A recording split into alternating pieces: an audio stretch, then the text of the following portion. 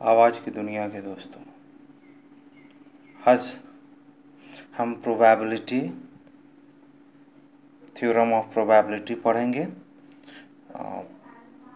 Probability theorem इस theorem में हम लोग आज पढ़ने जा रहे हैं फोर्थ थ्योरम पिछले लेक्चर में हमने पढ़ा addition theorem multiplication theorem conditional probability अभी हम लोग फोर्थ वन पढ़ेंगे Bernoulli's theorem Bernoulli theorem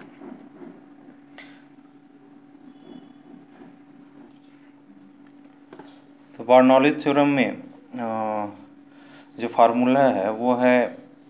probability equal to factorial n divided by factorial r multiplied by n minus r factorial multiplied by p to the power r multiplied by q to the power r.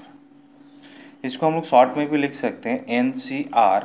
multiplied by p to the power r multiplied by q to the power n minus r where p equal to probability of happening of the event that is success where where as q equal to probability of not happening of the event that is failure. N equal to total number of trials r equal to number of success in trials. Ncr equal to number of combination of n things that are at a time. I equal to factorial तो जैसा हम लोग Bernoulli theorem में देख रहे हैं कि Bernoulli theorem में आ, हम लोग possibility of happening of things and possibility of non happening of things दोनों को लेकर के चलते हैं।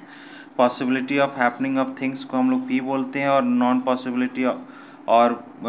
पॉसिबिलिटी ऑफ़ नॉट हैपनिंग को हम लोग क्यू लेके चलते हैं। तो पॉसिबिलिटी और probability of happening and non happening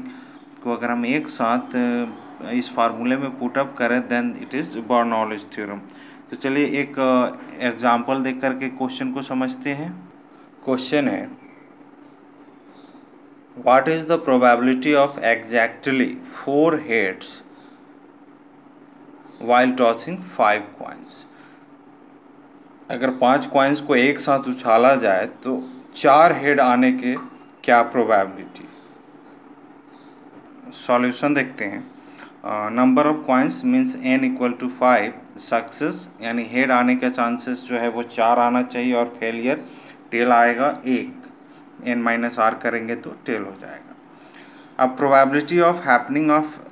heap and मतलब सक्सेस हेड आने का चांसेस वन बाई टू है और टेल आने का चांसेस वन बाई टू है। तो सक्सेस भी one by two and failure is also one by two success को हम लोग पी से डिनोट करते हैं तो पी हो गया वन बाई टू और क्यू हो गया one by two q is denoted as failure now by using Bernoulli's theorem formula है by using Bernoulli's theorem Bernoulli's theorem का फार्मूला है p probability equal to n c r multiplied by p to the power r multiplied by q to the power n minus r यहाँ पे value put करते हैं uh, सभी alphabets का।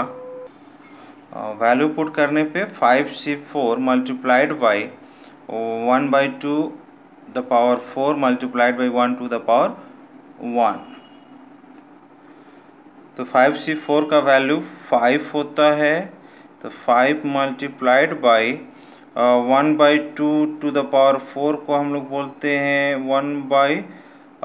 two into two into two दो दूना चार दूना आठ दूना सोलह one by sixteen multiplied by one by two तीनों को मल्टीप्लाई करेंगे तो हो जाएगा five multiplied by one by thirty two equal to five by thirty two is the answer तो ये है बर्नौलिस थ्योरम